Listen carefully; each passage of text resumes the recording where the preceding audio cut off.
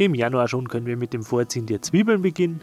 Ich habe hier vier verschiedene Sorten, die wir uns das Jahr über mal so ein bisschen ansehen möchten. Zum Vorziehen habe ich handelsübliche Töpfe mit ein bisschen Blumenerde befüllt und die gieße ich jetzt mal ein bisschen ein. Ist das erledigt, mache ich mit so einem kleinen Holzspieß ein paar Löchlein, in die ich dann die Samen stecken kann. Wie viele man davon macht, das ist eigentlich jedem selbst überlassen. Ich mache jetzt erstmal so um die sechs Stück, da habe ich danach dann noch viel Platz die Pflanzen auseinanderzubrechen, wenn ich die auspflanze. Man kann auch mehr machen, muss dann aber deutlich vorsichtiger sein, wenn man dann später die aufgegangenen Pflanzen auseinander nimmt. Das Saatgut ist meist in so kleinen Tütchen. Ganz kleine schwarze Körnchen sind das. Pro Pflanzloch einfach einen Samen rein, ein bisschen Erde darüber und das ist dann auch schon die ganze Kunst. Für jede Sorte habe ich noch so einen selbstgemachten Einmerker, damit ich auch weiß, in welchen Töpfen welche Sorte ist. Zum Aufgehen stelle ich das Ganze einfach auf eine Fensterbank, da reichen uns schon 15 bis 20 Grad, das muss also noch nicht mal eine Heizung sein.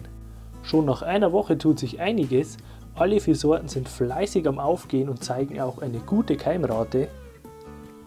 Einige Pflanzen sind schon ein bisschen größer, andere noch deutlich kleiner, aber dadurch können wir die verschiedenen Stadien des Aufgehens mal sehen. Aufgehende Zwiebelpflänzchen sehen aus wie ein ziemlich dicker, hellgrüner Stiel. Dieser scheint im nächsten Schritt länger zu werden, wie wir das in diesem hinteren Bereich sehen. Danach dann sieht es so aus, als würde sich der Stiel teilen, links und rechts wie so eine Lücke und streckt sich zunehmend nach oben, wie wir das hier sehen können. Die ganz obere Spitze, die verliert dann auch an Farbe und wirkt so, als würde sie abdorren, absterben. Das ist aber ganz normal, jedes Jahr bei all meinen Pflänzchen, bei allen Sorten so. Da müsst ihr euch überhaupt keine Sorgen machen. Mitte März gibt es wieder ein Update zu unseren Zwiebeln. Hier die Stuttgarter Riesen, hier die Riesenzwiebler Ilsa Craig. Genauso auch bei den roten Zwiebeln oder hier bei der Riesenzwiebelsorte Kelsey. Und an so einem schönen sonnigen Tag wie heute stehen die auch mal draußen, damit sie schon mal so ein bisschen die UV-Strahlung von oben abbekommen. Außerdem haben sie dann schon mal ein bisschen Wind und dadurch können sie sich schon mal so ein bisschen an die Freilandbedingungen gewöhnen. Anfang April wieder ein kurzes Update.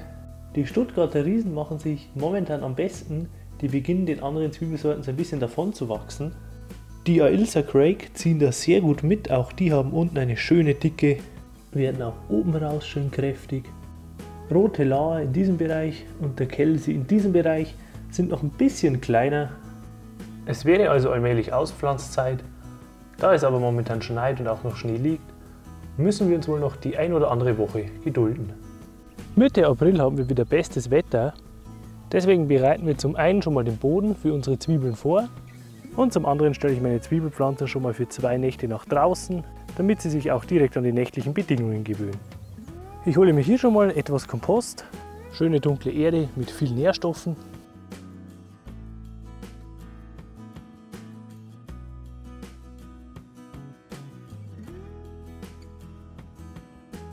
Außerdem kann man alle paar Jahre ein bisschen Gartenkalk einbringen.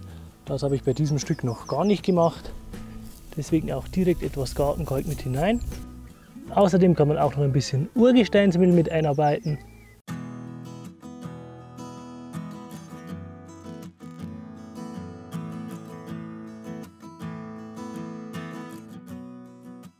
Zwei kühlere Nächte sind mittlerweile überstanden und damit sollten unsere Zwiebeln bereit sein zum Auspflanzen. So, wir starten mal mit den Stuttgarter Riesen. Da versuchen wir den ganzen Ballen durch seitliches Drücken rauszubekommen. Dann drücken wir mit den Daumen die Pflanzen Stück für Stück auseinander. Wenn es geht, so viel Wurzelballen wie möglich und dann ab ins vorbereitete Beet.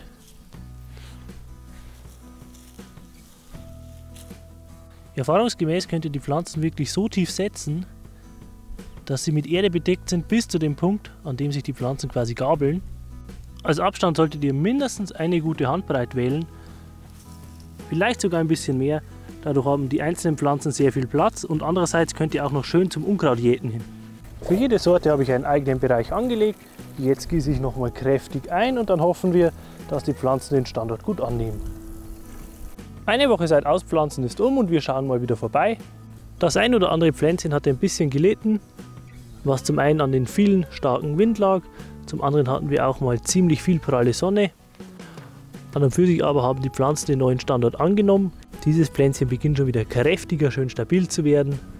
Mitte Mai gibt es wieder ein Update zu unseren Zwiebelpflanzen. Im Hintergrund erkennen wir auch schon, dass die Kartoffelpflanzen schön aus der Erde kommen. Hier der Blick in den Bereich mit den Stuttgarter Riesen. Die Pflanzen gehen schön ins Wachstum, verdicken immer stärker und machen einen tollen Eindruck. Da ist wiederum der Bereich mit der Riesenzwiebelsorte Ilsa Craig. Die sieht sogar noch ein bisschen besser aus. Wir sehen dickere, kräftigere Pflanzen, die schon weitere Holme schieben.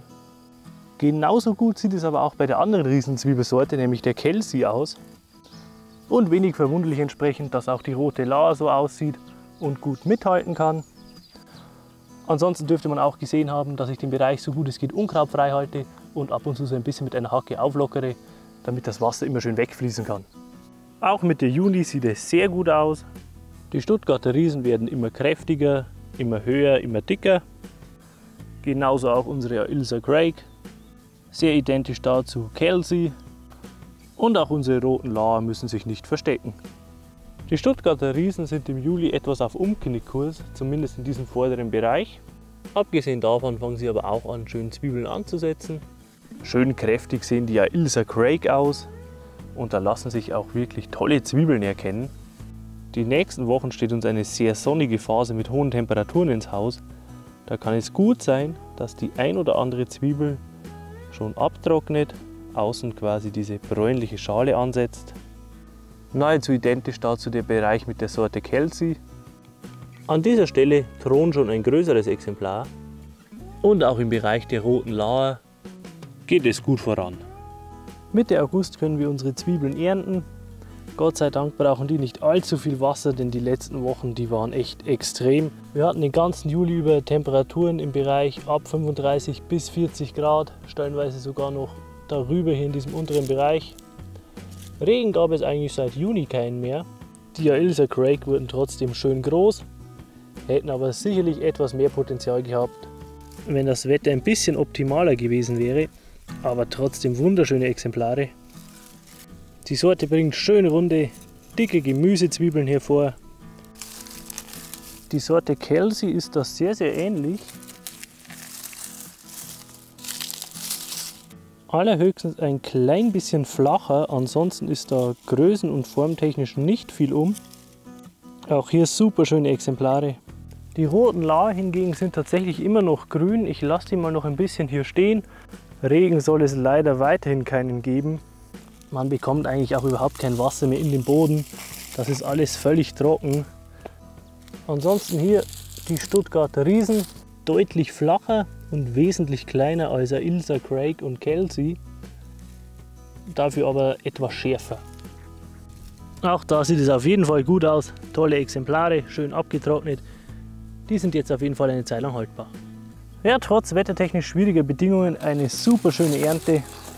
Das Säen klappt bei mir eigentlich jedes Jahr super und bringt auch immer schöne Exemplare hervor. Im Endeffekt klappt es sogar etwas besser wie das Stecken, ich lasse die jetzt trotzdem noch mal geschützt unterm Haus ein bisschen abtrocknen, dann kommen die in den Keller und die roten Zwiebeln, die ernten wir etwas später.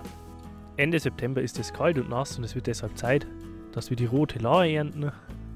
Das wurden ebenfalls richtig schöne Exemplare und die müssen jetzt natürlich noch ein bisschen trocknen, beispielsweise unter dem Vordach, damit die nicht zu faulen beginnen.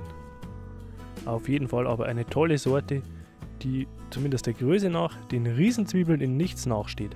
Trotz Extremsommer, also eine sehr erfolgreiche Saison. Seht euch mal diese Exemplare an. Mal wieder bin ich mehr als zufrieden. Schreibt mir gerne auch eure Lieblingszwiebelsorten in die Kommentare, damit ich die nächsten Jahre noch ein bisschen was zum Ausprobieren habe.